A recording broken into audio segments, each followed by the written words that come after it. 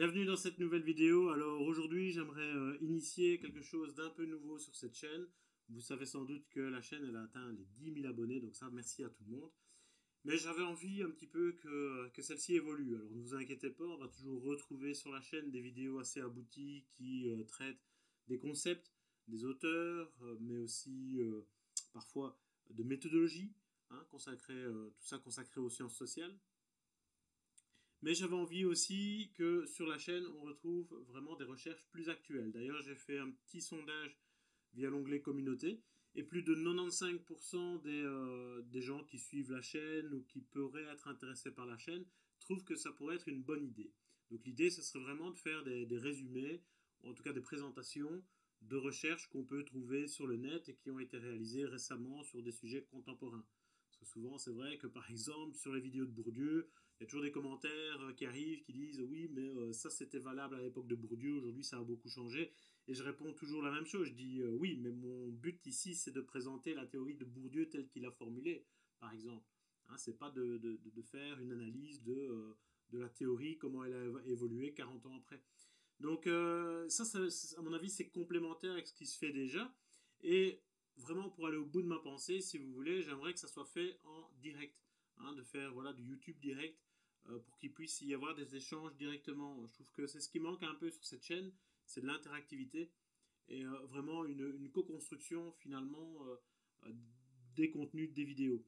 Et donc c'est pour ça que ici aujourd'hui, ben, je vais faire ça, mais dans les conditions du direct. Donc là, je me suis installé comme si je devais streamer. Mais seulement, je vais faire quand même un montage, parce que comme c'est la première fois, il y a peut-être des, problèmes techniques qui vont se poser il y a peut-être euh, voilà, des, des, blancs à un certain moment, je ne saurais pas quoi dire.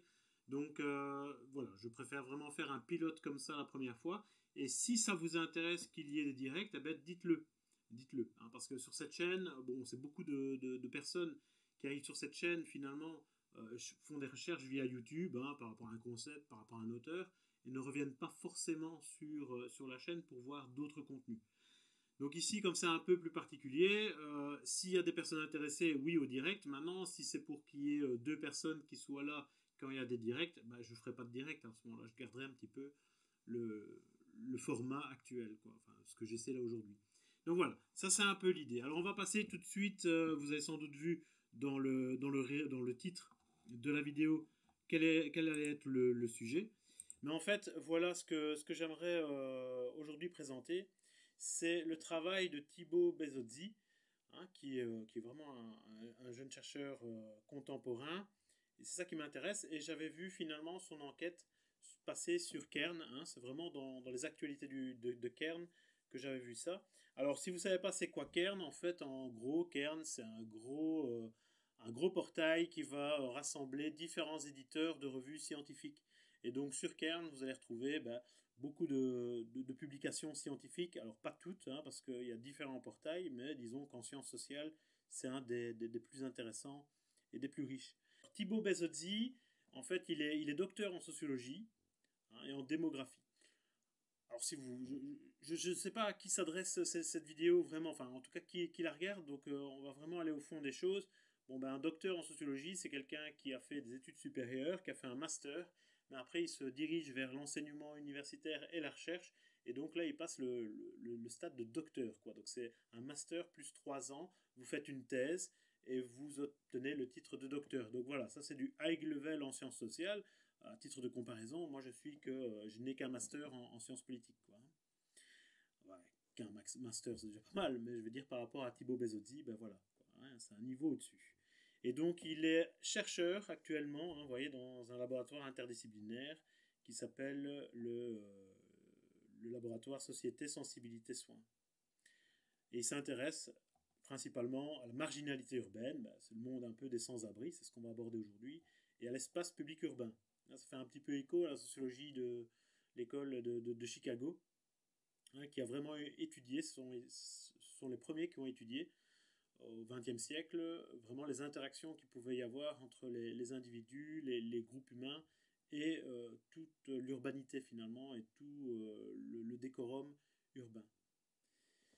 Donc ça c'est un petit peu pour, pour, le présenter et au niveau de sa, euh, de la recherche qui nous occupe ici, on va avoir directement un résumé qui est proposé sur le site du Cairn. C'est ça qui est intéressant, c'est quand vous vous intéressez à un objet en sciences sociales, eh bien, les études contemporaines et les plus anciennes proposent toujours un résumé. Hein. Souvent, les élèves, ils aiment bien les résumés quand ils doivent lire un, livre en français. Eh bien, ici, en sciences sociales, c'est encore plus simple, puisque le résumé, c'est vraiment quelque chose d'officiel et d'obligatoire, entre guillemets. On va le lire ensemble parce que c'est ce qui nous permet de comprendre vraiment tout l'article. Euh, et parfois, je dis aux élèves, ben, rien qu'avec l'abstract, hein, l'abstract c'est l'autre nom du résumé, rien qu'avec l'abstract, eh bien, vous êtes en mesure déjà d'avoir des éléments. Et donc, on gagne beaucoup de temps pour savoir si l'article est intéressant ou pas, en tout cas dans le cadre de sa recherche. ici, on le fait un petit peu euh, gratuitement, mais euh, si vous êtes en cours de recherche, c'est beaucoup plus intéressant encore que dans ce qu'on fait aujourd'hui. Donc en partant de l'étude de la vie quotidienne des sans-abri rencontrés à Nancy, agglomération du Grand Est, hein, recensant 300 000 habitants, dans le cadre d'une recherche en immersion ethnographique pendant 8 mois. Donc si vous ne savez pas c'est quoi, eh bien l'immersion ethnographique, c'est un petit peu comme les grands anthropologues ont fait euh, au XXe siècle, comme Claude Lévi-Strauss, qui allait s'immerger dans des tribus, par exemple en Amazonie. Eh bien ici, euh, Thibaut Bezozzi, lui, a intégré vraiment le monde des sans-abri pendant 8 mois. Alors, euh, dans l'article, il ne va pas dire exactement les modalités, mais après, il y a d'autres, d'autres documents sur le net dans lesquels il est un petit peu plus prolifique par rapport, ou en tout cas, il en dit un peu plus là-dessus, et qui nous permet de savoir comment ça s'est passé si ça vous intéresse. Cet article entend montrer les structures sociales qui ordonnent le monde des sans-abri. Loin des notions d'errance et de désocialisation souvent mobilisées pour caractériser la situation individuelle des sans-abri, notre propos invite au contraire à se focaliser sur les dimensions collectives de l'expérience de la rue et met ainsi en lumière les structures spatio-temporelles, relationnelles et morales. On a déjà une structure là, hein, ça c'est vraiment trois temps de, sa recherche, qui caractérise cette expérience. On peut dès lors appréhender les sans-abri comme appartenant à un véritable monde social relativement structuré et observer comment cet ordre social survit malgré le turnover des membres du microcosme des sans-abri. Alors moi j'aime bien cette, euh, cette étude, alors je l'ai lu une première fois hein, pour préparer un petit peu cette vidéo. Euh, je l'aime bien pour plusieurs raisons. La première c'est que c'est très clair au niveau des problématiques. Souvent les, élèves ont beaucoup de mal à, cibler les problématiques et surtout des problématiques pertinentes. Alors je rappelle qu'une problématique pertinente c'est par exemple quelque chose dans lequel vous allez avoir euh, par exemple un axe de tension ou alors une lacune dans les connaissances ou alors un paradoxe Hein, ça, c'est vraiment euh, des, problématiques intéressantes. Ici, ce qui est intéressant, à mon avis, il y a une double problématique. La première, c'est qu'on va déconstruire des représentations sociales qu'on a du monde des sans-abri. Et d'ailleurs, si vous allez sur la société, vous allez voir, il y a une vidéo qui marche assez bien sur l'exclusion sociale. Et je dis, dans celle-ci, hein, je m'en souviens vaguement parce que c'est déjà une vieille vidéo, euh, l'exclusion sociale, c'est la rupture des liens sociaux, finalement, progressive. Et eh bien finalement, l'article de, ici de Thibaut Bezozzi ben, vient contredire ça. Par euh, l'observation empirique, mais ben, on se rend compte qu'ils ne sont pas du tout euh, désocialisés. Donc ça, c'est un premier temps qui est très intéressant dans sa recherche, c'est qu'on va euh, déconstruire des représentations qu'on a, avec parfois des, gens qui gravitent dans le monde des sciences sociales, ben, comme, moi par exemple, mais peut-être des chercheurs aussi, vont avoir. C'est très intéressant. La deuxième chose, c'est que on a donc une structure sociale qui existe, quelque chose d'organisé qui existe, et dans le monde des sans-abri, il y a un turnover, comme le dit euh, l'auteur, il y a donc un changement régulier euh, des membres, c'est pas toujours les mêmes personnes, parce qu'il y a des gens qui arrivent, il y a des gens qui meurent, il y a des gens qui, qui partent de la rue, et on a quand même cette structure qui se maintient. Donc c'est une deuxième problématique dans la première qui est intéressante aussi, parce que là on a une contradiction, comment ça se fait que hein comment ça se fait que ça se, que ça se maintient alors qu'il y a un turnover des membres. Alors j'ai comment ça se fait que, parce que dans une vidéo de Bourdieu, que j'avais mis sur la chaîne d'ailleurs, je pense, euh, Bourdieu dit voilà une bonne question de sciences sociales ou euh, les sciences sociales, ça répond à la question comment ça se fait que quoi. Comment ça se fait que si, comment ça se fait que ça. Et donc là, voilà, on est en plein dedans. Donc moi je trouve ça déjà très intéressant comme recherche euh, de ce point de vue-là. Et puis vous allez voir, dans l'article, dans ce qui est très intéressant, c'est qu'il est, très scolaire. Mais je ne le dis pas de manière péjorative. C'est-à-dire qu'il y a beaucoup d'auteurs qui sont mobilisés avec des concepts de base qui sont mobilisés. Quoi. Mais ça, c'est de, la matière que je vois en cinquième, en sixième, en sciences sociales en Belgique. Donc, si vous êtes en France, ça fait terminale ou, première. donc c'est super intéressant parce que cet article-là, il permet vraiment de rentrer dans, le vif du sujet. À mon sens, il n'est pas trop complexe et un élève de 5e ou de 6e, bien sûr un, un, élève qui fait des, un étudiant pardon, qui fait des études supérieures en sciences sociales, lui ça va être à son niveau, mais c'est vraiment un article euh, qui permet de rentrer agréablement dans, les sciences sociales. Et puis c'est un sujet, je pense, un objet qui, intéresse beaucoup de gens. Donc voilà, voilà pourquoi j'ai choisi cet article-là pour ce premier exercice de présentation d'une recherche. Euh, j'espère que je n'ai pas été trop long sur, sur l'introduction. On va rentrer tout de suite dans le vif du sujet. Allez, c'est parti. On va dans l'article, fenêtre de travail. Je prends aussi mes marques avec euh, OBS. Alors voilà l'article, où on en est. Donc vous avez bah, les rappels, hein, des, références bibliographiques, vous avez directement le lien. Comme je le disais, vous avez directement l'abstract, quelques mots-clés, mais ça on a déjà un peu découvert. Alors, comment on va faire? Je ne vais pas tout lire, hein, parce que voilà, l'article fait 21 pages, je pense. Euh, mais j'ai souligné des, des, éléments importants, et donc on va suivre ensemble la structure. Mais on sait déjà, de par l'abstract, qu'il va y avoir trois temps, puisqu'il nous dit que le monde social des sans-abri euh, va être structuré ici les structures, par des structures spatio-temporelles, relationnelles et morales. Donc ça, ça va être trois, euh, trois euh, parties du, travail qu'on va retrouver. Et c'est un peu le, cœur du travail. Alors comment ça se passe? Ben, Il introduit assez rapidement, hein. il n'y a pas de blabla à mon avis inutile au début. Et puis le champ de la recherche sur le sans-abrisme, c'est ce qu'on appelle les lectures, hein, l'exploration via les lectures. Et donc là, on fait un petit peu ce qu'on appelle aussi un état de l'art. On fait un peu le point sur tout ce qui a été déjà fait par rapport euh, à la recherche sur ce thème-là. Alors si je me souviens bien, ce que nous dit euh, Thibaut, c'est que, je dis Thibaut, hein, c'est pour pas dire tout le temps Thibaut Bezodi, mais ce qu'on nous dit, c'est qu'à un moment, bah, par exemple, la recherche s'intéressait surtout sur les causes euh, de, l'exclusion sociale ou en tout cas du, du sans-abrisme, et puis, il va nous aussi nous préciser qu'ici, dans cette recherche, on va s'intéresser vraiment aux sans-abri proprement dit, parce que dans le monde de la rue, on peut avoir des SDF sans domicile fixe, mais qui ont quand même un domicile en fait, qui vont passer d'une structure à l'autre, qui vont passer euh, d'une forme d'assistanat, je le dis comme ça, c'est peut-être euh, un peu grossier de le dire comme ça, mais pour euh, gagner du temps, voilà, à l'autre, Tandis que le sans-abrisme, c'est vraiment des gens qui sont dans la rue. Alors ça ne veut pas dire qu'ils vont pas aller dormir dans une structure d'hébergement, mais c'est jamais que pour une nuit et toute la journée, ils se retrouvent euh, vraiment dans la rue. Donc ça, c'est vraiment 20, euh, 10 à 20% de la population SDF qui est sans abri. Et lui s'intéresse à ces, sans-abri-là qui sont euh, bien sûr à Nancy. Voilà, c'est ce qu'on dit ici. là, il n'y a rien à redire. Alors il y a des éléments que j'ai soulignés qui me semblaient très intéressants. Il précise aussi que lui va être plutôt dans un paradigme interactionniste. C'est quoi l'interactionnisme hein? On connaît Goffman, on connaît Baker. Ce euh, c'est un courant qui va vraiment étudier les faits sociaux de par les interactions, en considérant que ce sont d'abord les interactions qui vont constituer en quelque sorte euh, le, creuset dans lequel tout le reste va se forger et que les, individus vont acquérir une certaine identité de par leurs interactions, par exemple. Ici, l'article vise donc à saisir les dynamiques interactionnelles de déconstruction, reconstruction identitaire des sans-abri. Donc on va s'intéresser aussi à leur identité. Et ça, c'est aussi un concept de base des sciences sociales, l'identité.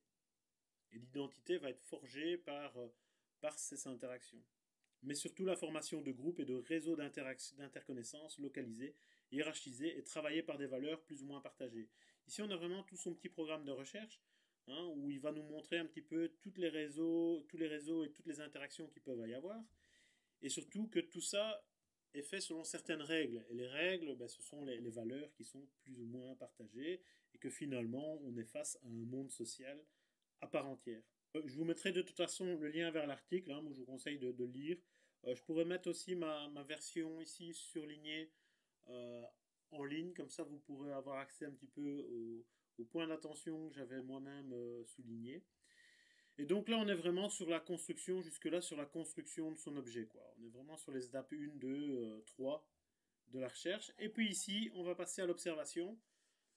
comment va-t-il réaliser son observation? Alors les élèves qui sont euh, vraiment qui suivent mes cours vont se dire mais euh, on n'a même pas formulé de modèle d'analyse, on n'a même pas formulé d'hypothèse, comment ça se fait?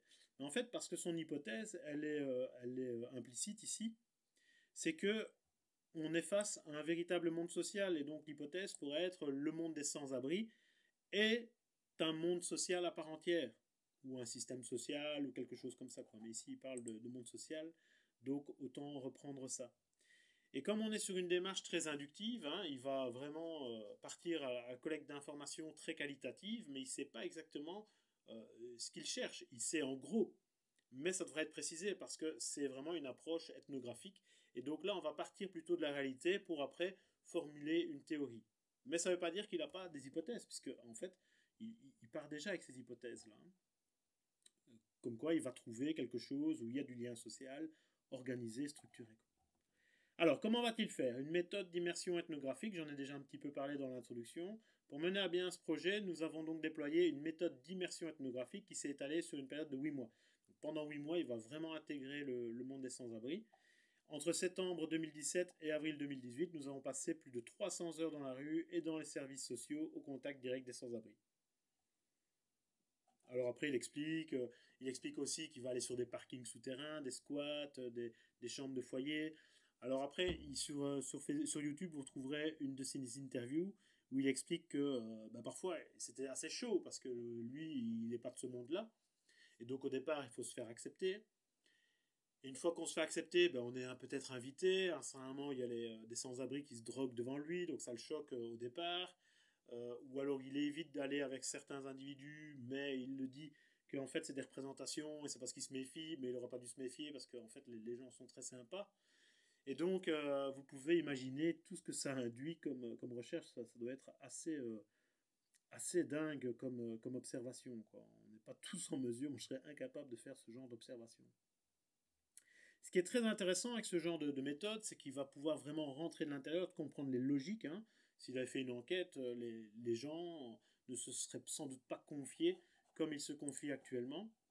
Attendez, je vais changer une fois la, vue, pour que ce soit plus sympa.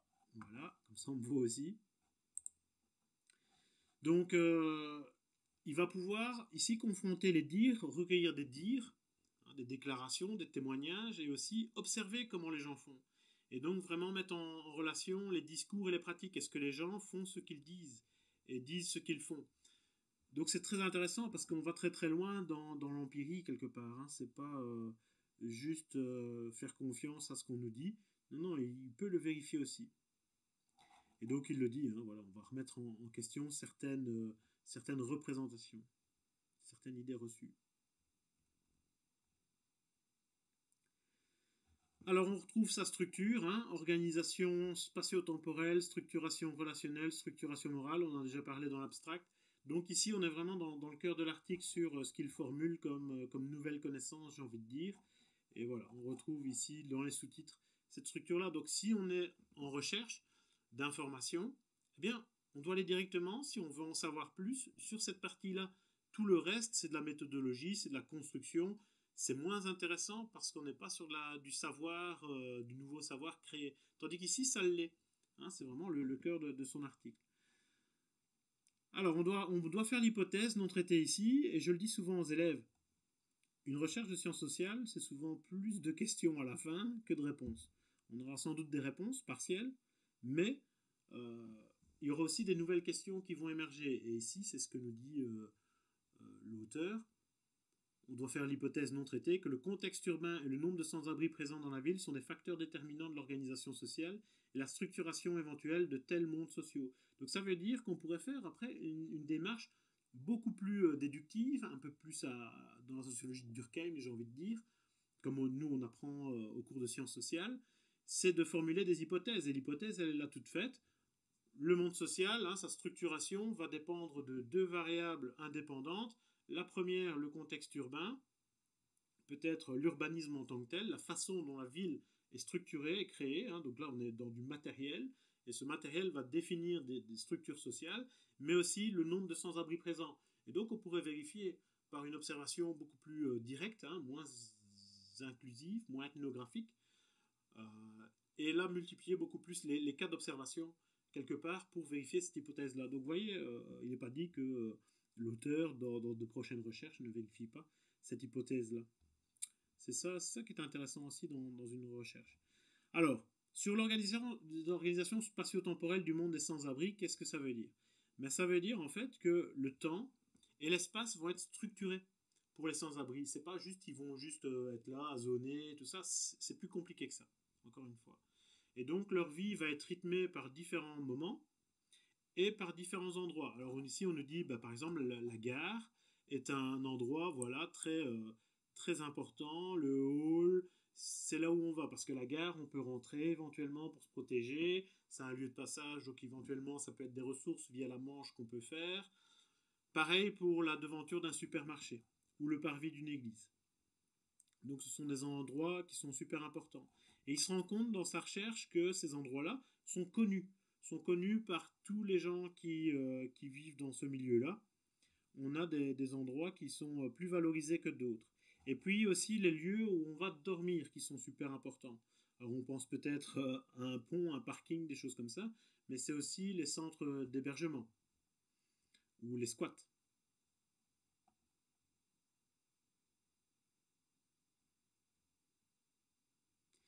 Voilà, routinisation individuelle et collective du quotidien.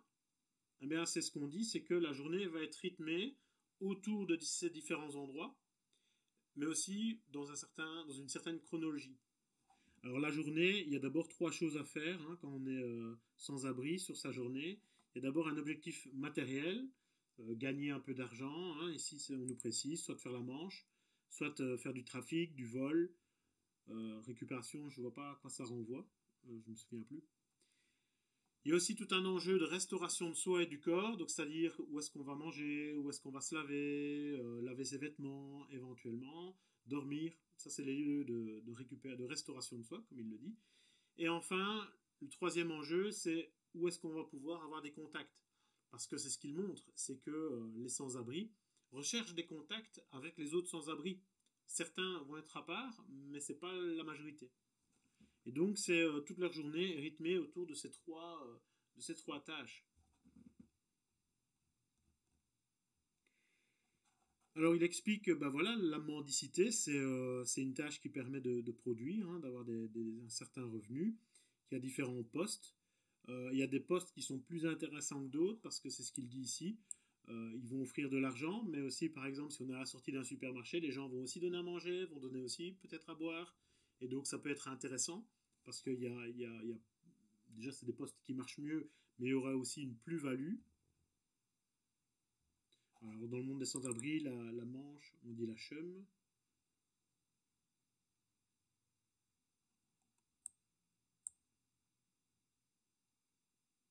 voyez, ce qu'il explique, c'est que euh, la manche est aussi organisée, par exemple, les bons endroits, il va y avoir des, euh, des relais. Donc quelqu'un est à un endroit, par exemple, jusqu'à 16 heures, et puis après, il garde la place pour, euh, quelqu'un qu'il connaît. Quoi. On va pas dire des amis, parce que c'est ce qu'il dit, hein. dans le monde des sans-abri, l'amitié, c'est pas, c'est pas une valeur, ou en tout cas, c'est pas un concept euh, qui marche, enfin, qui, est pertinent. Mais voilà, il y a des, relations de loyauté, où, on a des, alliés comme ça. Et donc, on peut garder la place pour, euh, pour un, un de ses alliés, par exemple. Donc il y a toute une structure comme ça qui se met en place.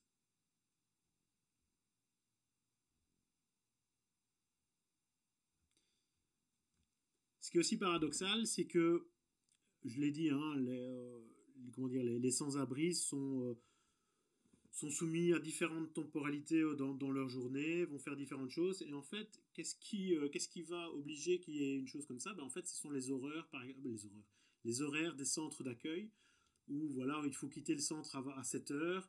Et donc, en fait, les sans-abri vont aller euh, au rendez-vous qui, sont fixés par les services sociaux. Et donc, ce qu'ils disent, ce qui est paradoxal, c'est que finalement, le fait que des, euh, des, individus ou la zone ou errent dans la ville, finalement, c'est le système qui veut ça.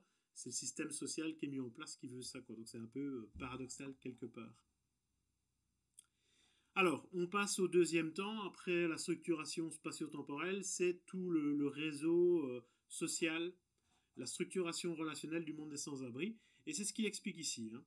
Il explique, euh, je l'ai déjà dit, qu'il y avait des alliances et des conflits. Donc à ce moment, il y a des, vraiment des relations de loyauté avec du don, du contre-don. Hein. on fait confiance une fois et puis ça permet de mettre en place une relation. Et puis, euh, par exemple, il y a quelque chose qui se passe mal au niveau de la, du retour qu'on peut faire. Donc par exemple, vous avez donné de l'argent pour dépanner euh, quelqu'un et cette personne, elle n'a jamais euh, rétrocédé une faveur ou euh, c'est pas forcément que de l'argent, mais ou un tuyau, quelque chose comme ça. Enfin, elle n'a pas rendu quelque part ce que vous lui avez donné. Eh bien là, il va y avoir un conflit et bien sûr, on va plus être dans une relation d'alliance. Donc c'est un peu, un peu comme ça. D'ailleurs, euh, ils se connaissent tous, hein, ça on y reviendra. Dans le monde des SDF, enfin des, sans-abri, tout le monde euh, se connaît, en tout cas dans une ville comme Nancy. Et une des personnes qu'il suit, hein, dans, son, observation, elle le dit ici, c'est euh, plus belle la zone. Quoi. Vous connaissez plus belle la vie, hein, le, feuilleton, elle dit bah, ici c'est plus belle la zone, tout le monde se connaît. Donc c'est un peu un feuilleton dans lequel il y a des, retournements de situation, il y a des alliances, il y a, des choses comme ça. Quoi. Mais comme je le disais, c'est rarement des, euh, en termes d'amitié. Et puis, parfois, il y a des alliances qui se font plus facilement en fonction de l'origine. Ça, il ne le dit pas ici, mais il le dit dans, dans, l'interview qui est sur YouTube. Euh, par exemple, par origine euh, euh, ethnique ou géographique, ben, les, les, sans-abri d'Europe de l'Est vont se regrouper. Les sans-abri issus du Maghreb vont se regrouper ensemble. Les jeunes vont aussi avoir tendance à se regrouper, mais aussi par famille. Hein. si vous êtes avec votre frère dans la rue, il y aura des des regroupements. Et ce qu'il dit ici, c'est que, instantanément, on va pas parler d'amitié, mais si on a vraiment des liens très très forts avec une autre personne, on va utiliser les termes relatifs à la famille. Voilà, c'est mon frère, quoi. C'est comme un père pour moi. Donc l'amitié est un peu zappée et directement on arrive sur des liens euh, familiaux finalement. Ils, sont en recomposition euh, familiale finalement le monde des sans-abri. C'est ce qu'on disait au début. Hein.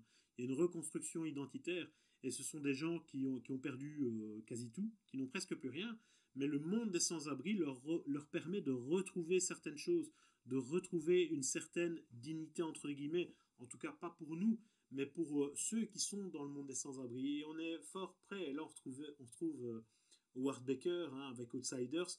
Voilà, nous qui sommes outsiders, on ne peut pas comprendre le monde des insiders, quoi. Hein, c'est un, peu ça. Et une fois que tu es, dedans, il y a, des choses nouvelles qui vont se passer pour toi. Quoi. Donc c'est ça, ça que ça veut dire quand il parle de reconstruction identitaire. Et on reconstruit des choses. Et c'est pour ça aussi que, des, des, personnes euh, sans abri euh, ont du mal ou ne veulent pas quitter ce monde-là parce qu'ils ont reconstruit, reconstruit des choses finalement. Alors ça peut nous apparaître totalement futile, ça peut nous apparaître vraiment, euh, comment dire, très précaire, mais voilà, quand t'as rien, ben, presque rien, c'est déjà quelque chose quelque part. C'est un peu ça que ça veut dire. Voilà. Il y a, euh, comme on le disait, euh, plein de relations qui font qu'il y a radio sans-abri quelque part. Hein, euh, les sans-abri vont, s'informer mutuellement et parfois il y a des, des retenues d'informations parce que l'information est une ressource. Parfois on donne l'information, c'est une ressource. Donc c'est un monde assez complexe aussi, quoi, avec euh, vraiment toutes des lois euh, spécifiques. Alors il y a plein de, choses qui se passent, hein. il y a des, dépendances, il y a aussi des dominations. Alors euh, voilà, des réseaux d'interconnaissance qui favorisent la possibilité de vendre, d'acheter certains produits. moi ça me rappelle un petit peu les films qu'on voit, alors c'est peut-être un peu caricatural, mais sur le monde de la prison, quand on voit un film comme Un prophète hein, qui parle un petit peu de la vie carcérale, on voit que euh, le réseau de connaissances, c'est des, ressources que tu peux avoir en plus, quoi, que c'est super important. C'est pas comme nous dans notre monde euh, euh, dans lequel on vit, où on va au magasin, voilà, la ressource c'est de l'argent, tu trouves. finalement, le fait de connaître des gens, c'est pas tout le temps déterminant. Ça l'est dans certains milieux et dans certaines situations. Mais voilà, tu vas acheter à manger, c'est pas parce que tu connais la caissière que tu auras plus ou que tu auras moins. Mais dans ce monde-là, c'est tout à fait inversé. Et, donc, euh, la connaissance peut euh, amener des, ressources supplémentaires. Alors, il y a des rapports de protection hein, par rapport, si vous êtes une personne âgée, une femme, des personnes handicapées, elles sont plus protégées. Et c'est ce que je disais, la protection en tant que telle est une ressource qui est considérée comme un don appelant un contre-don. une sorte de féodalité comme ça, où si tu es protégé par quelqu'un, bah, tu vas peut-être lui donner des informations, tu vas peut-être lui donner de l'argent, ou euh, tu vas peut-être en nature lui donner, bah, je sais pas, des, substances euh, pour se droguer, ou euh, te prostituer, si c'est une femme ou si c'est un homme, et que ça intéresse le, partenaire, ben voilà quoi. Et ce que nous dit ici l'auteur, c'est que comme il y a des commérages, ça prouve bien qu'il y a tout un réseau d'interconnaissance. Euh, si, si, les gens étaient totalement isolés, c'est une preuve hein, de son hypothèse que c'est bien un monde social. Si les gens étaient isolés, il n'y aurait pas des, des, ragots, il n'y aurait pas des échanges d'informations comme ça.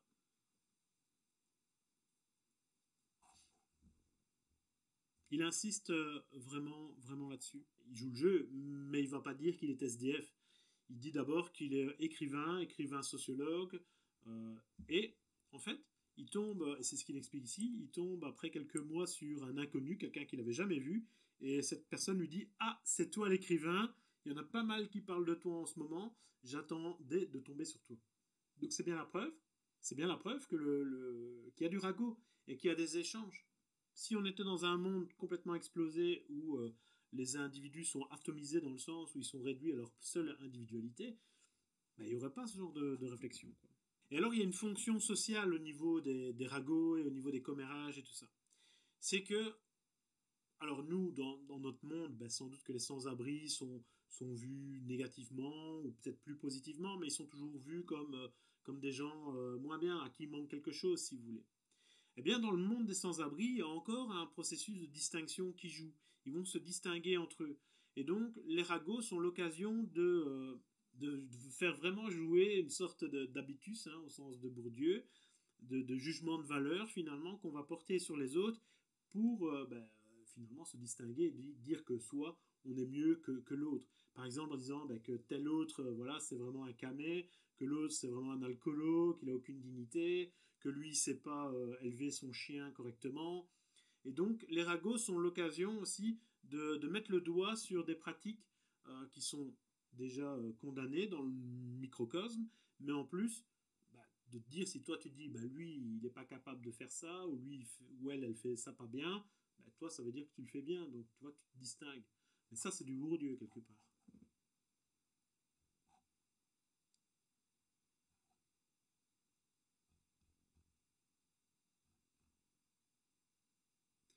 Alors, au niveau vraiment ici de la forme du réseau d'interconnaissance, euh, on est ici, comment ça va se structurer? Eh Bien d'abord, parfois il y a des groupes de 3, 4, 5, plusieurs individus. Alors les groupes, ils sont pas stables dans le temps, il y en a qui sont plus stables que d'autres, mais on peut avoir, euh, comme on l'a vu, bah, des alliances qui tombent, euh, qui deviennent caduques, et donc du coup, bah, le groupe change. Et à quoi va servir le groupe? Comment le groupe agit? Ben, Le groupe, par exemple, il va occuper un espace où il va euh, organiser une certaine façon d'avoir du revenu. Donc c'est finalement, euh, je veux dire travailler, mais euh, organiser ensemble certaines activités du, quotidien. C'est à ça que le, groupe sert. Hein. Par exemple, ici, ce qu'on explique, voilà, pour trouver différentes ressources, pour partager différentes ressources, l'argent, la nourriture, les boissons, les drogues, les informations. Le groupe va être quelque chose qui va permettre de faire ça mieux et plus efficacement. Mais on retrouve aussi des binômes. Euh, bah, par exemple, c'est des groupes qui, hein, peuvent imploser, par exemple, on se retrouve dans des binômes, et il y a des binômes avec des relations de domination, par exemple. Hein, l'un va, va, va, protéger l'autre, l'autre va ramener, par exemple, le produit de la manche. Voilà, il y a des échanges comme ça. Et ici, on a toute la structure sociale du monde des sans-abri, telle que l'a observé euh, Thibaut euh, Bezozzi avec les groupes. On trouve ici les groupes. Alors plus ils sont foncés, je pense que ça veut dire plus ils sont euh, reliés aux autres. Et plus c'est clair, plus on a ces groupes-là qui sont un petit peu à l'écart du monde des sans-abri. Donc on voit qu'il y a aussi euh, différents taux d'intégration dans le monde des sans-abri, volontaires ou non. Et on a même des individus qui sont totalement euh, atomisés, c'est-à-dire qu'ils sont vraiment tout seuls et qui sont reliés, qui n'ont aucun contact avec les autres. Hein. Vous voyez, les, les, liens, en fait, ça c'est plus c'est foncé, bah, plus ils échangent de liens. De l'information, ils se parlent, mais aussi peut-être des ressources. Et pour en revenir sur, euh, sur les, ronds, Monique ou Robert ou Sawyer, en fait, il y a différentes euh, réalités. Par exemple, Sawyer, je pense que c'est euh, quelqu'un qui a des problèmes psychiques, schizophrènes ou des choses comme ça. Et donc, c'est des gens qui sont à la rue, mais parce que, voilà, ils sont, je vais le dire de manière plate, ils sont fous, quoi. Et donc, ils sont dans la rue parce que ça, ça se passe pas bien dans leur tête et qu'ils n'ont pas une approche rationnelle des choses. Ceux qui sont dans les groupes sont plutôt des gens qui ont une approche rationnelle, qui vont vouloir euh, avoir une vie sociale aussi. Mais Monique, par exemple, c'est quelqu'un qui est tout à fait bien euh, au niveau de la santé mentale, mais par exemple qui va rester isolé pour se protéger. Parce que rentrer dans ces réseaux, ben, c'est parfois se faire dominer aussi. Et donc, euh, on a différentes stratégies. Donc là, on est sur une démarche plus rationnelle pour Monique. Et puis, on a des groupes voilà, qui vont avoir qui vont être beaucoup plus isolés, le groupe du squat, et des groupes beaucoup plus intégrés. Et puis on a des carrés ici, en fait, ce sont des gens qui sont plutôt de passage, parce que dans le monde des sans-abri, il y a les zonards, c'est ceux qui restent au même endroit, ou voilà, qui zonent. Et puis il y a les routards, c'est ceux qui vont euh, voyager, donc qui vont changer de ville et des choses comme ça. Donc on ne les connaît pas forcément, ou en tout cas, l'auteur, lui, dans sa, dans sa démarche, il n'a pas eu l'occasion de mettre un prénom sur eux. Alors ce sont des prénoms d'emprunt, euh, je pense. Voilà, c'est ce qu'on nous dit. Alors après, il y a des individus, des individus périphériques et puis il y a des individus qui sont au croisement de certains groupes, ça ce sont les binômes. Donc c'est super important. Quelqu'un comme Jeff, il en parle beaucoup parce que je pense qu'il a encore des contacts avec lui. Quelqu'un comme Jeff est relativement central, vous voyez, dans l'échiquier. Il a euh, accès à beaucoup de, gens et euh, ces personnes-là ont elles-mêmes accès à différents, à différents groupes. Donc, euh, bah, c'est un peu comme dans la vraie vie, voilà, c'est du capital social, à la façon dont on le dit avec Bourdieu. Euh, et plus vous avez de, capital social, bah, plus vous avez de ressources finalement pour maximiser votre position dans le champ social. C'est comme ça que je l'interprète avec, avec les mots de Bourdieu. Hein. Voilà, c'est ce qu'on nous dit. Les intermédiaires sont importants dans la mesure où ils incarnent la mémoire collective du monde des sans-abri. Parce que pourquoi est-ce qu'il y a une stabilité de ce monde des, sans-abri, avec certaines valeurs qui restent malgré qu'il y ait du turnover, mais c'est parce qu'on a des gens qui restent aussi. Hein. et euh, il le dira plus loin, les personnes qui sont euh, les plus euh, intégrées dans le monde des sans-abri, c'est celles qui sont là depuis le plus longtemps donc, et qui sont le plus valorisées, évidemment. Donc tout est lié à ce niveau-là. Voilà, c'est ce que je disais, l'image du schizo, c'est la personne totalement isolée, et puis Monique, voilà, qui veut se protéger, ce que je disais.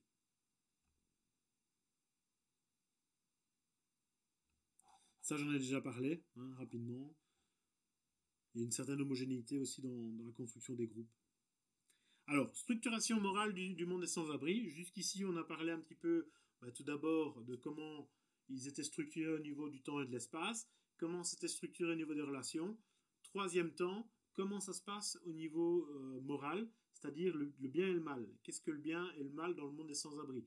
Alors nous, on pourrait considérer beaucoup de choses de mal dans le monde des sans-abri, que ce soit la drogue, le recours à la drogue dure, le, recours à la, violence, le recours au vol. Mais dans le monde des sans-abri, peut-être aussi, mais il y a sans doute un certain décalage. Donc c'est ici vraiment quelles sont les valeurs, quels sont les systèmes de pensée qui sont mis en place. Ce système de valeurs, particulièrement à travers le respect des valeurs partagées et l'action de ceux qui se chargent de les faire respecter. Voilà. Alors, il y a des règles qui sont, ou en tout cas des valeurs qui sont explicitement énoncées. Hein, souvent, on dit, euh, les, sans-abri disent, ah ben ça, ça ne se fait pas. Et surtout, à l'auteur qui, lui, est nouveau dans le monde des sans-abri, donc une fois qu'il a passé le cap de se faire accepter, eh bien, on lui dit, non, ça, tu peux pas faire. Euh, ou alors, on va valoriser certaines choses. Donc, euh, pour quelqu'un qui est novice dans ce monde-là, ben, c'est des messages qui sont souvent dits et donc lui, il a pu vraiment les cibler. Donc ensuite, il y a aussi des valeurs qui sont respectées, mais sans être verbalisées, mais qui sont visibles. Donc lui, il a pu les observer, hein, d'où la pertinence de son, euh, de son observation. Voilà. Et puis quand elles sont transgressées, ben, ça, choque les personnes. Et donc, lui, c'est un profiteur, il prend, mais il ne donne jamais. Ça permet de dire qu'il y a une valeur euh, en relief là derrière. Bah, il dit que lui-même, euh, il, a, transgressé certaines valeurs ou certaines normes, et donc euh, il s'est fait, euh, il s'est fait reprendre à l'ordre. Alors voilà, on va vraiment, ici c'est assez intéressant, je trouve que c'est très scolaire parce que tout est détaillé par valeur, donc ça serait vraiment à reprendre parce que si on fait une recherche sur les valeurs, on peut utiliser ça. et le transposer peut-être à d'autres milieux. Tiens, est-ce que les valeurs des, des sans-abri sont les mêmes que dans le monde carcéral, par exemple C'est des questions que moi je me pose parce que je trouve qu'il y a des analogies avec les représentations que j'ai. Hein. Je ne dis pas que c'est des, des hypothèses vraies, mais en tout cas, c'est des hypothèses qu'on pourrait faire. Alors, première grande valeur, c'est la débrouillardise. Hein. La débrouille est systématiquement valorisée et renvoie aux capacités individuelles de s'en sortir par soi-même. Le gars qui est dépendant de tout le monde, hein, il est vraiment le dernier des derniers des sans-abri.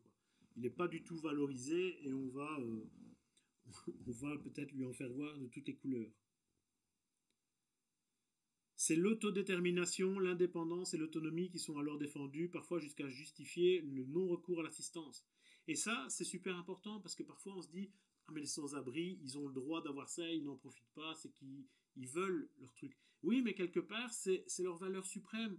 Il leur reste euh, quasi rien, et donc leur, côté euh, de, savoir se débrouiller avec rien, c'est un petit peu ce qui les valorise. Et donc, on ne peut pas leur refuser ça. Quoi. Je voyais encore ici un article sur euh, un peu People, sur Mallory Nataf, hein, qui est une ancienne actrice de, sitcom, qui est dans la rue et qui refuse l'aide systématiquement. Oui, mais c'est ta dernière dignité finalement de savoir te débrouiller tout seul et de ne pas devoir demander, quémander tout le temps euh, aux autres. Donc voilà pourquoi euh, c'est important de savoir ça. Puis ça recourt aussi à la délinquance. Se débrouiller, c'est parfois la délinquance. C'est pour ça que la délinquance va pas forcément euh, dévalorisé dans le monde des sans-abri. C'est parce que la délinquance égale débrouillardise. Et comme la débrouillardise est une valeur importante, si pas la première, voilà quoi. On préfère être délinquant et débrouillard que pas être délinquant, être dans les, dans les clous et pas se débrouiller tout seul, quelque part, si vous voulez. Alors, l'honneur, ben voilà, garder son honneur, c'est aussi pas être un déchet total, c'est rester libre, indépendant. Et là, on retrouve du Goffman, hein, c'est quelque part euh, euh, conserver sa face. D'ailleurs, c'est un, mot que, l'auteur reprend souvent quand il explique sa, son travail. Il reprend le mot, voilà, préserver sa face. Hein.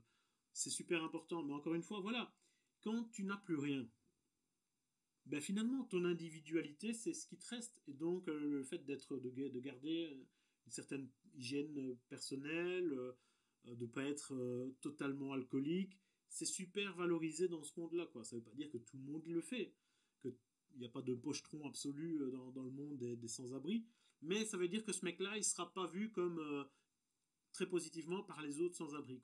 Le gars qui arrive à garder sa dignité, bon, il picole, il se drogue, mais il arrive à garder sa dignité, eh bien, c'est quelqu'un qui sera plus valorisé dans le monde des sans-abri. D'ailleurs, le fameux Jeff, hein, dont on a parlé ici, il le dit, dans la rue, il ne faut pas baisser les yeux, il ne faut pas se laisser marcher dessus, ni se laisser aller, sinon t'es foutu. Voilà c'est son honneur, mais jusqu'à sa, sa, dignité personnelle en tant qu'individu quelque part. Alors la virilité, la virilité c'est quoi? Ben, C'est une certaine euh, gouaille, c'est les grivoiseries, hein, c'est le fait de parler cru, d'être vulgaire. On retrouve euh, finalement un habitus des, classes populaires, hein, d'être direct. Voilà, euh, ne pas pleurer sur son sort aussi, savoir souffrir. Voilà, c'est vraiment un habitus des classes populaires. D'ailleurs, il fait le lien avec Bourdieu dans sa, conférence, dans sa présentation, eh bien ça c'est super valorisé aussi. Et du, coup, les stéréotypes super masculins sont valorisés jusqu'au point que certaines femmes vont vraiment, euh, vraiment adopter des codes masculins et euh, vont pas hésiter à se battre euh, pour justement se faire accepter et être valorisées dans ce monde des sans-abri avoir une construction identitaire valorisante. Donc le fait de savoir se battre, c'est aussi euh, quelque chose de, valorisé. Il faut aussi être réglo. Hein, être réglo, bah, c'est pas abuser des autres, euh, en tout cas dans le monde des sans-abri. Après, la délinquance, c'est encore autre chose. Mais, euh, enfin, je veux dire, par exemple, voler des, des, gens, c'est encore autre chose. Mais voilà, savoir rendre les services qu'on t'a donnés, c'est super important. Être discret, super important aussi. Donc, on te donne une combine, bah, tu vas pas aller la crier sur tous les toits. Et on voit qu'il y a un jeu finalement, il y a des, valeurs qui rentrent en tension. Parce qu'on l'a dit tout à l'heure, hein, c'est aussi euh, plus belle la zone, donc euh, il y a des ragots, il y a des choses comme ça, donc tu peux balancer parfois des choses. Mais euh, c'est en tension. C'est un petit peu comme dans notre vie à nous. Hein. Je dis, il ne faut pas être dans le monde des sans-abri pour que ça soit comme ça. Parfois, on a des valeurs qui, dans lesquelles on est en tension. Hein. Si, on, si on considère que respecter les, les règles, c'est super important, le conformisme est super important, et qu'en même temps, ben voilà, on a un ami proche qui, euh, qui fait quelque chose qui est pas bien, est-ce qu'on le dénonce ou est-ce qu'on le dénonce pas? Voilà. Si on a les deux valeurs qui sont très importantes, d'un côté le conformisme, de l'autre côté euh, l'amitié, ça rentre en tension. Ben, c'est pareil dans le monde des sans-abri. Hein. Donc il explique au niveau de la discrétion qu'il en a fait les frais lui-même, alors que nous indiquions à Fred une combine de Rossi pour changer les tickets restaurants en pièces de monnaie dans un commerce précis, et ce dernier nous reprocha d'avoir indûment partagé ce plan. Voilà. On est relativement discret euh, dans, certains, contextes sur ce que font les autres. Puis le partage, voilà, hein, je donne contre don, mais il y a un partage d'abord qui peut se faire. Celui qui garde tout pour lui, euh, il ne sera pas bien vu dans le monde sans-abri. Et surtout, voilà, ça c'est un peu, un peu étonnant, être un bon maître chien. Donc celui qui sait bien regarder son chien, il est super valorisé. Surtout quand ton chien, ben voilà, c'est pas, un, Rottweiler ou quelque chose, un American Staff, euh, des, gros chiens dangereux, quoi. Quand tu sais bien le, garder, qu'il est bien élevé, que tu t'en occupes bien, qu'il est bien soigné, tu es super bien vu. Les gens qui gardent pas bien leur chien, eh ben, ils sont vraiment aussi un petit peu euh, bah, dans les commérages, euh, dévalorisés. On considère voilà, qu'ils ne sont pas, sont pas très dignes euh, de ce côté-là. C'est un exemple qui donne. C'est ainsi que Julien s'est fait accepter et intégrer, fraîchement arrivé de Paris, d'abord déprécié parce qu'il s'est approprié un poste de manche et a récupéré la chienne virulente d'un sans-abri monté au star, donc incarcéré. Julien s'est montré respectueux envers la chienne et jugé bon maître, si bien qu'il a acquis le droit de la garder et de conserver son poste de manche. Ah, parce que c'est un bon maître chien, ben finalement, c'est un bon gars, il peut garder euh, ce poste-là pour faire la manche.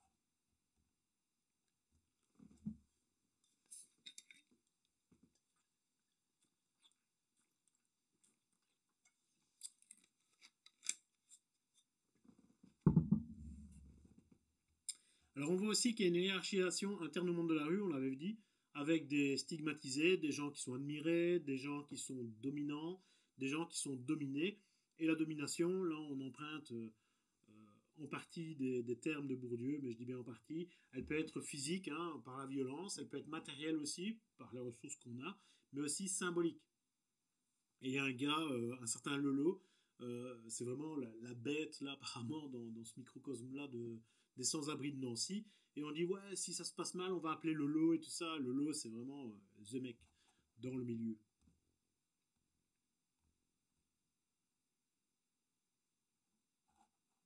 Alors comment tu vas être bien vu? Ben, Plus tu vas euh, respecter les valeurs du milieu qu'on vient de, détailler, ben, plus tu seras considéré dans ce milieu-là, quoi, finalement. Et alors là, c'est une, interprétation que je fais, il hein. faudrait voir avec l'auteur ce qu'il en dit. Mais finalement, peut-être plus tu es, euh, intégré, ben, moins tu as envie de, sortir du monde des sans-abri, parce que tu es quelqu'un dans ce milieu-là. Je pense qu'il le dit, mais je ne me souviens plus trop s'il le dit ou si c'est moi qui ai interprété ça. Ça peut se comprendre, voilà, il y a un endroit où tu es la bête, où tu es euh, au top. Pourquoi tu voudrais, tu voudrais changer quoi? Ah, C'est le corps du social. Hein tout est relatif. Hein. Voilà, c'est ce qu'on disait. Hein. Parallèlement, la dépendance à des drogues dures ou des médicaments ou à l'alcool est dévalorisante en ce qu'elle engendre des états léthargiques peu compatibles avec la position dominante, sans compter sur le fait que la dépendance physiologique reste une dépendance et, est par conséquent dévalorisante. Les camés, qu'ils soient hommes ou femmes, font partie des dominés, se font régulièrement exploiter et dépendent d'ailleurs souvent des dominants pour s'approvisionner. Et donc ça c'est aussi, ça ça combat une représentation qu'on a euh, du sans-abri qui est là euh, complètement plein, euh, complètement ivre ou totalement camé. C'est plus compliqué que ça, encore une fois. Alors il nous dit que la violence, c'est pas dans toutes les situations. Hein. C'est une sorte de capital guerrier qu'il faudra avoir. Et donc du coup, c'est en lien aussi avec les chiens. si tu as un chien dangereux que tu maîtrises, tu es encore plus euh, maître de la violence quelque part. Tu as encore plus de capital guerrier, entre guillemets. Alors, vous voyez, il fait euh, aussi référence à des auteurs. Marcel Moss, bah, c'est don et contre don, on en a déjà parlé. Hein. On te donne, bah, tu dois rendre un jour. Alors, ce qu'il nous dit, c'est que les structures, elles sont pas. Ici, ce qu'on dit ici, c'est que ça pourrait évoluer. Et que lui, il l'a vu pour Nancy dans, dans le cadre de son observation. Mais l'idée, c'est pas que les valeurs elles soient immuables, c'est qu'il y ait des valeurs qui est intéressant. Et donc après, une enquête qui pourrait être intéressante, c'est de faire le même, le même exercice dans une autre ville, avec d'autres contraintes urbanistiques, avec plus de population, moins de population, pour voir, tiens, quelles sont les différences? Et là, on touche vraiment au cœur de la démarche des sciences sociales. Les sciences sociales ne sera jamais euh, d'arriver à des lois universelles euh, qui permettent de prédire ce qui va se passer ou comment vont être les choses. Non, mais on sait qu'il y a des choses qui se passent. Et puis, il y a toute une variation qui est toujours à découvrir finalement, parce qu'il y a toujours une marge de manœuvre. Mais la marge de manœuvre, elle est toujours contrainte dans un système, dans, des structures ou dans des systèmes de pensée. Hein. Je peux parler de structure, mais je ne suis pas forcément euh, dans une vision euh, de structuralisme. Mais dans l'individualisme méthodologique, c'est des schémas de pensée qu'on va avoir qui restent. Donc c'est ça qui est intéressant dans les sciences sociales, c'est qu'il y a une part de, déterminé, une part de contraint et une part, je ne vais pas dire d'aléatoire, parce que c'est toujours déterminé contraint quelque part. Hein, si, moi je suis spinoziste, hein, il est là, je suis spinoziste, hein, tout est déterminé pour moi. Mais on ne le saura pas euh, jusqu'à quel point euh, c'était déterminé. Mais voilà, donc dans notre vie à nous d'être humains, il y a toujours une part d'aléatoire à découvrir, si vous voulez, à notre échelle. C'est ça qui est intéressant. Donc c'est intéressant, hein, franchement, euh, si vous voulez revoir c'est quoi une recherche de, sciences sociales, lisez l'entièreté du truc. voilà, vous n'êtes pas obligé de tout lire, hein, je vous ai donné les, éléments essentiels, hein, encore une fois. Mais franchement, c'est super intéressant. Voilà, c'est ce qu'on nous dit ici, ce que j'étais en train d'expliquer. Les structures sociales du monde des sans-abri restent relativement stables. Alors bien sûr qu'elles ne sont pas immuables, bien sûr qu'elles changent, mais il y a des stabilités, quoi. Et c'est ça qui est intéressant. Certes, ces structures sociales demeurent informelles, donc elles ne sont pas écrites, et c'est ça qui est, j'allais dire, qui est beau, parce que j'aime les sciences sociales. Euh, la réalité, elle n'est ni belle ni laide, hein. Mais euh, voilà, il n'y a rien d'écrit, mais ça dure, quoi. Alors comment ça se fait que on est vraiment dans quelque chose d'une problématique, mais qui est hyper intéressante. Elle s'institutionnalise dans aucun texte ni aucune tradition officialisée, mais elle se cristallise sous l'action conjointe des sans-abri et assure néanmoins la reproduction d'un ordre social qui possède une part d'autonomie. Voilà, là c'est vraiment pour moi le paragraphe où on, résume le cœur du, travail ici. et donc, d'où vient la stabilité? Mais c'est par les interactions finalement, et donc c'est pour ça qu'on est dans un paradigme interactionnaliste. Voilà. Et eh ben voilà, on a toute la bibliographie euh, et on a fini. On a fini ce, résumé. Alors voilà, c'était un coup d'essai, hein, je, répète, euh, c'est la première fois qu'on faisait ça comme ça. Peut-être que j'ai cherché mes mots, je ne sais pas ce que ça va donner. Voilà, on verra. On verra. Euh, surtout si donnez des commentaires. Si vous avez aimé, vous mettez les commentaires. Si vous n'avez pas aimé, si vous avez trouvé ça trop long, euh, je modifierai. C'est vraiment un coup d'essai, c'est vraiment un pilote. Donc j'ai besoin de vous pour faire évoluer cet exercice et que ça soit intéressant pour tout le monde. Moi, en tout cas, j'ai trouvé ça vraiment chouette. Ça m'oblige aussi à, lire plus des recherches contemporaines. Ce que je trouve beau, je ne sais pas si je l'ai dit au début de, l'exposé, ce que je trouve beau avec ce genre de choses, c'est que euh, on montre bien qu'on part de la réalité. Ici, il y a vraiment une observation. Alors la prochaine euh, recherche que je présenterai, j'essaierai de trouver quelque chose de beaucoup de différent, de plus basé sur euh, une, des méthodes quantitatives, hein, parce qu'ici on est plutôt sur des, méthodes qualitatives, euh, pour vous montrer un petit peu la différence. Mais voilà, dites-vous bien que les sciences sociales, c'est pas que du blabla. Alors bien sûr, oui, on va mobiliser mille et un concepts, comme on l'a fait ici, mais c'est d'abord aller observer la réalité telle qu'elle est. Et ici, on produit de la, connaissance. Moi, je trouve ça vraiment passionnant. En tout cas, merci, euh, merci Thibaut Bezozzi pour ce travail vraiment intéressant. Voilà, ben, je vous dis à très bientôt pour une prochaine vidéo de sciences sociales. Salut, salut